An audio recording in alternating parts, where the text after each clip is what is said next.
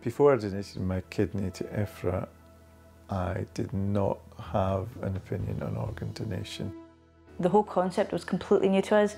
We have nobody in the family that has kidney problems. Mm. We'd never heard of any of this. We were like, you kind of associated it with an elderly person, to be honest.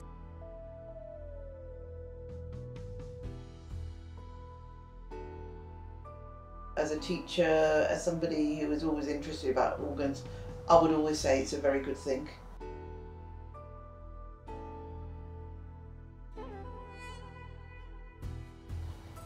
When I met Sina 20 plus years prior and she'd got her driving license at the age of 18, she told me that she'd donate her organs because you got used to get the card.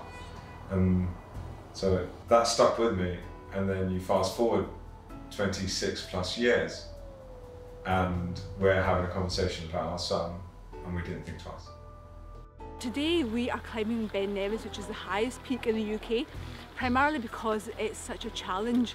And all of us that are climbing today we may be first climbers but we all have good health and vitality. And you know we're all going to reach the top inshallah and get this to the summit. But we're doing this to raise awareness of all the people that are on the organ donation list. And they have no quality of life because they're waiting for life-saving organs. In this community uh, a lot of people have a lot of different uh, uh, questions and issues con concerning organ donation and this walk was basically to try and highlight uh, the issues and answer as many questions as possible from lots of different people in the field. So the law changed recently into the opt-out law which means that everyone automatically is an organ donor as an imam in the community, people were asking me basic questions whether it's permissible or not. So I, I decided to research this topic. I didn't realize that it was a taboo subject. I, to me, it logically made sense. It's something that we should all kind of aim for because it's a way of helping somebody. And then it wasn't until I started talking to my parents about it that I was told it was a sin. This topic is controversial because it cuts across a number of theological uh, positions. For example, Allah subhanahu wa ta'ala's authority and his ownership over our body. Um, burying uh, the, the, dead body as quick as possible and also um, honouring and dignifying the human being. So I'm Rafaqat Rashid um, and I'm uh, by occupation uh, a general practitioner. Uh, so I'm somebody who's had a, a quite immense interest in uh, Islamic medical ethics for over 20 years now. There are a number of myths that do exist in the uh, in the Muslim community regarding organ transplantation. You know, doctors when they know that you're uh, a donor, then they what they will do is they'll undergo processes where they'll quicken your death. So that is another uh, another myth that exists. That basically there's an issue of mafsada. So there's an issue of uh, organs uh, or there being a market for organs and there's a sense of exploitation, people benefiting financially from this. We have a health system here that's more ethical than in other places in the world, which means that our rulings are going to be different here than they would be, say, in Pakistan. And that's really important to say that because a lot of our scholars here, our local scholars, say that organ donation is permissible with the caveats, and that is within this health system where we're staying. So according to my research, organ transplantation is permissible, but with conditions. And one very important aspect of this that uh, we talk about is the issue of what we call a dhurura, so the principle of necessity. We'd always planned to do Hajj together. It was one of our big, you know, post-retirement things. But just out of the blue, I just said to Nasa, I said, do you know what it is? I think we should do Hajj now. We were in Mecca towards the, having done Umrah, going towards, obviously we were planning to go to Medina. This is after the Hajj. Nasa woke up in the morning, uh, one morning we were in a really lovely hotel, really, really in pain. Abdominal pain, uh, really extreme, he was screaming with pain. And a Pakistani doctor came and he saw him, took him into, checked him over. We, you know, came back to England after a eight, 10 hour flight, people were very shocked to see him. And you've seen the photos probably of him in my um, posters. He was so dark, his colour had changed totally. And he'd lost probably over the period of Hajj at least you know half a stone. When I got back on Monday, I phoned the doctor and said, look, we need an urgent appointment. He said, Nasa, you know, you've got fluid on your liver, your liver's expanded, and you now need a transplant. My liver है ना वो बिल्कुल finish है. Anytime it will be failed, and you will die. I said, oh my God. We decided and we'll tell the doctor, okay, then go ahead. And after, I was lucky after one week, I got the donation. Before the transplant, I was in the dunya, you know, do this business, do this building, do this um, property, like this, this, this.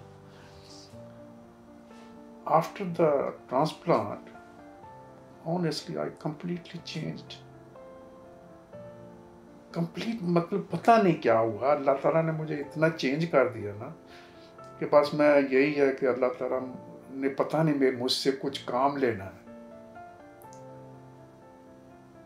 समझे ना? ये मुझे जो life दी है ना अल्लाह ताला ने ये कुछ काम करने के लिए ली है। तो मैंने वो ये अंग्रेज़ था चालीस साल का बेचारा मैं तो उसके लिए दुआ मांगूं कि अल्लाह ताला उसको उस पर अपना कर्म करे और उसकी फैमिली पे भी Organ transplantation is a very new technology.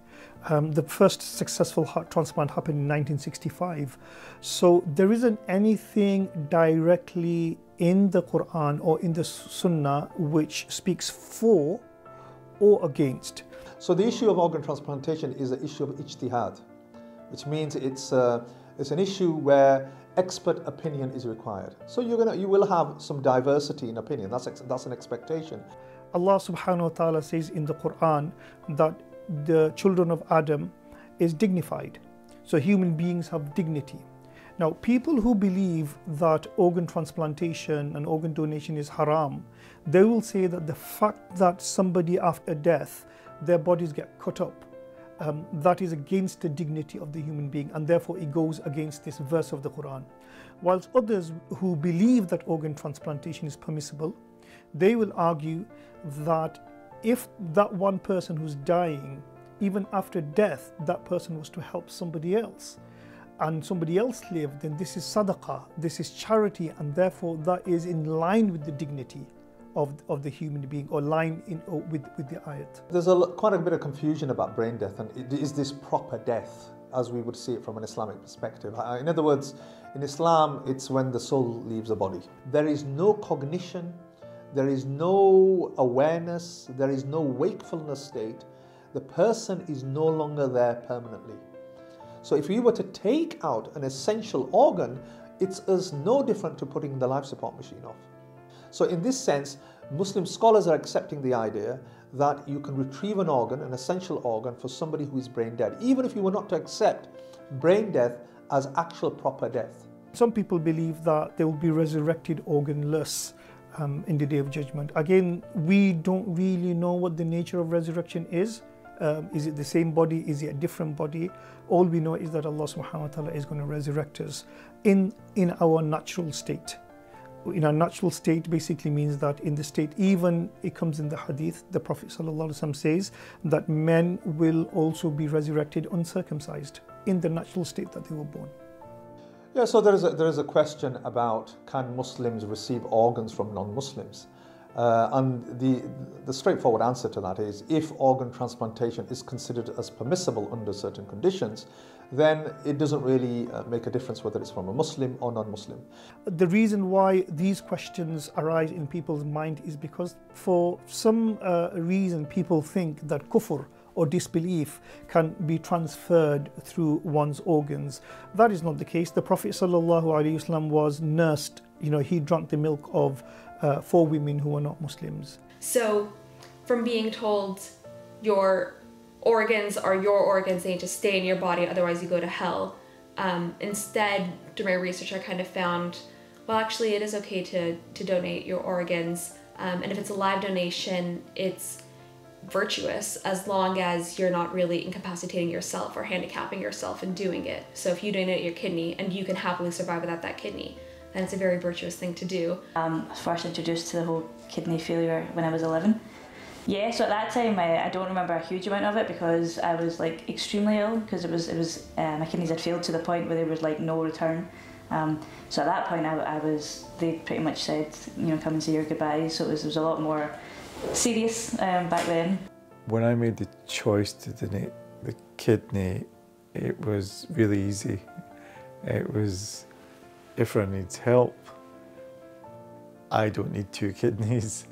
Uh, the doctors assured me I would be absolutely fine with one kidney and it would help to save Ifra's life. We were told that I would always need another transplant, so that wasn't a surprise. However, it came quicker than we expected. Uh, so second transplant, so both my brothers actually came forward uh, to be tested, um, but it was the hero of the family, this guy next to me right here, uh, my younger brother, uh, Deal. Like Ifra said, it was 2019 when she told me and my brother about it, um, and I think when she told us, we both of us were like, how, how can we put ourselves forward? And then it was maybe about a month or so after that the, the hospital kind of phoned me and said that okay we've kind of assessed both of you and because you're in a job, you're you're married, you're um, you're more mature. Um, they were like, we think you'll you'll be a better match. Alhamdulillah, I've, I've fine. I don't think there's there's been any impact. There's obviously the after the transplant there's like a 12 week recovery period. So during then I was like I was kind of like quite quite weak and things that I had to watch what I was doing. But then I think after that there's been no barrier, there's no risk. What we said is there shouldn't be any change to your day-to-day life after giving um, a kidney. The only risk is during the actual operation.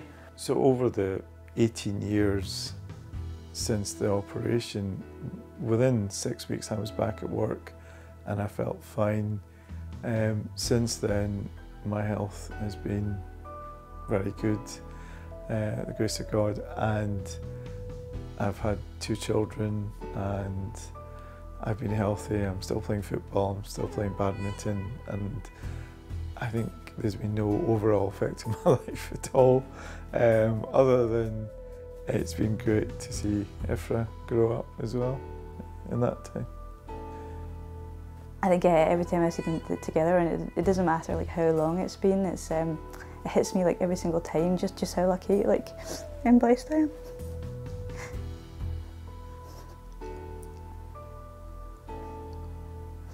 Yeah, like I know like if it, if it wasn't for them, like I, I don't know, like I hate to think how long I'd be waiting.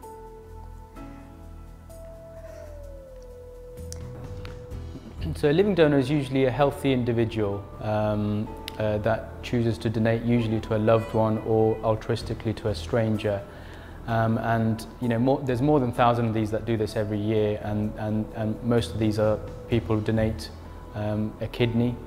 Um, you can also donate a part of a liver, um, whereas a deceased donor is somebody who, donates after they've died, obviously, and they can donate um, their heart, lungs, liver, kidneys, pancreas, small bowel. So they've got a you know potential, I guess, to transform and ch change up to eight lives uh, as, as, a, as a deceased donor. Um, so once consent has been sought, um, uh, then an in independent specialist team of organ retrieval surgeons like myself and our nursing staff are called to the, um, to the hospital to carry out the organ retrieval operation. It's a, it's a very important and quite an emotional operation. Respect and dignity are at the forefront of everybody's mind. You know, that's, uh, that's a really important thing to, to, to say. Um, and before we actually start the operation, we, we take a moment of silence and reflect on what we're about to do. The operation itself involves a, a cut from the top of the chest to the bottom of the tummy in the, in the middle. Um, we dissect carefully and delicately and the organs have to be removed in such a way that they are not damaged, that they are in an optimal state to be transplanted. So you can have an open casket funeral, you know, because the, you know, and the dressing will cover from the top of the chest to the bottom of the tummy. The, the, the body is then washed and cleaned, and, and if, if the donor's family have any particular requests, they are undertaken. So some family uh, members, they want, you know, like palm prints. Some family members want the, uh, pay, uh, their loved one dressed in a particular dress. Um, some members want particular music played at the end, and then the body is returned to, to the family and, um, and then taken to mortuary thereafter. Unfortunately, um, a, small, but luckily a small but not an insignificant number of children on our intensive care uh, unit that we look after die. And as, a, as the process of end of life care, we always ask the question about whether organ donation it would be something that they consider or have considered. And increasingly, actually, we find that families bring it up during that process.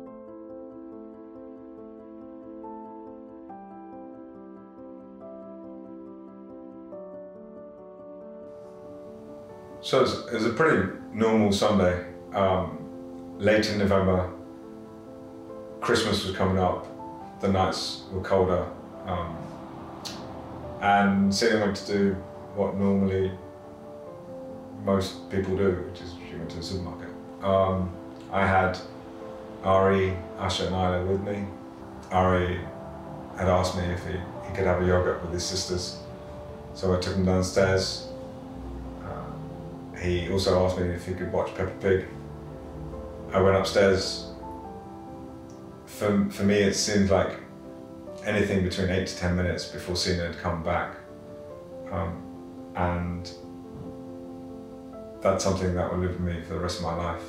Uh, I will always blame myself for not being there should he have wanted me. Uh, because in those minutes, he managed to get himself caught in the blind cord and suffocated. On Sunday evening, Ari was admitted to the paediatric unit at St George's. Um, he was put on life support and there was no indication that Ari would not survive. Um, ev everyone from the medical team, be it nurses or doctors, um, done everything they could to try and um, bring Ari back to us.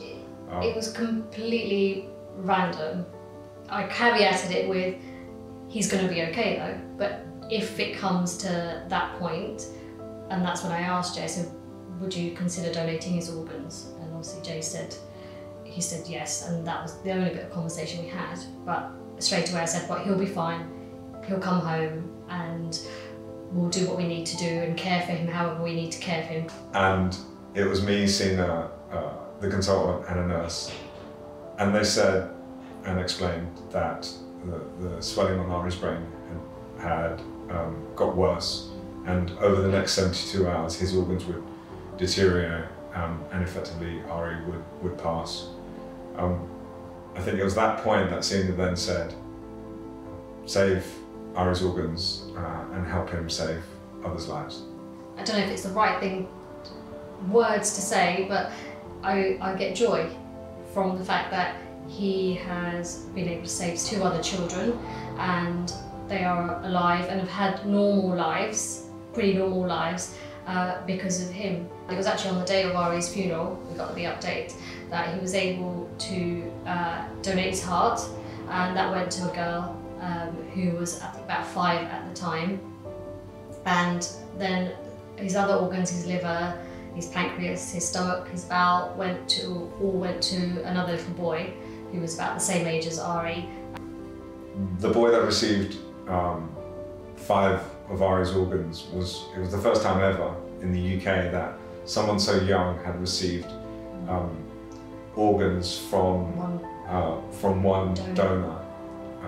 Uh, uh, but you imagine how poorly that child would have been to have needed that many organs.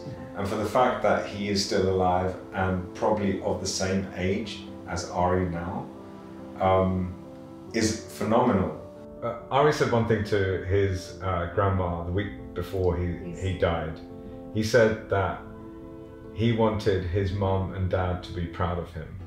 And if I think about those words that he shared with his gran and think about Ari's legacy, I'm truly proud that Ari, um, uh, of what Ari's done and what he's done for others. I always said it was never my gift to give, it was always Ari's gift to give others.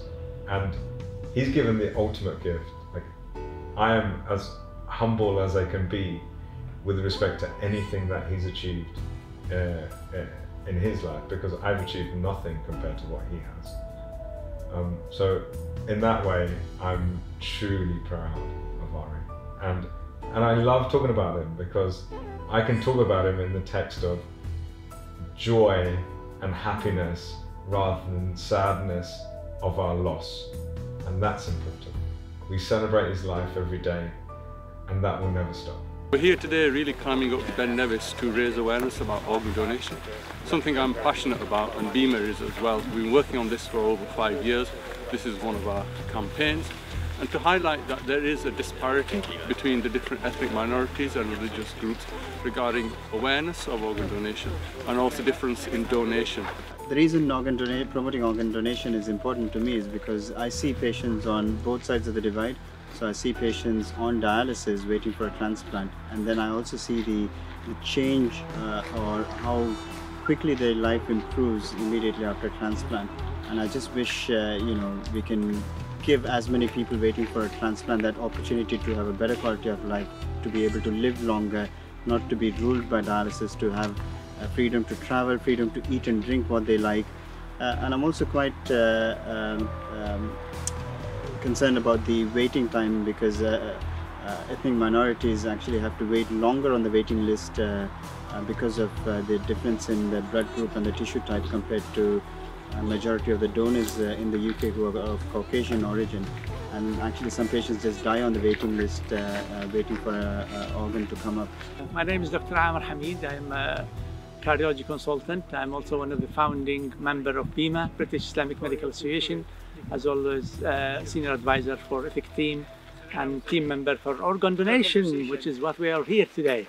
We uh, noticed that uh, black minority ethnic group uh, are low on the uh, organ donation register and uh, there's a lot of people waiting for that and unnecessarily uh, delay and sometimes and inevitably people might die because of that.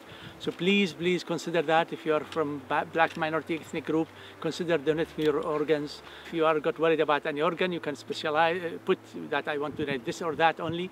You have the freedom and even when you uh, if you die uh, and if things change if your family want to uh, re revisit the, that decision your family can change that. So rest assured if you want to put your name now later on if the family decided otherwise they can do so. There's no obligation for that. BIMA would like this film to be a talking point like the start of a conversation for people to watch this film and to go away thinking this could be me in terms of someone that's affected in a, you know, uh, through ill health and needs a transplant, or be in a position, think I could be in a position to help someone else and not save one life but multiple lives after I've passed away. We want this film to be a talking point to just spur that discussion for people to watch it, to go away more informed, to go home, to talk to families and friends and just to ignite discussions about organ donation so we can get rid of the taboo that clouds this, this subject, some of the barriers, we need to overcome some of these barriers, and those will, that will only happen when we start discussing it around with our family and friends.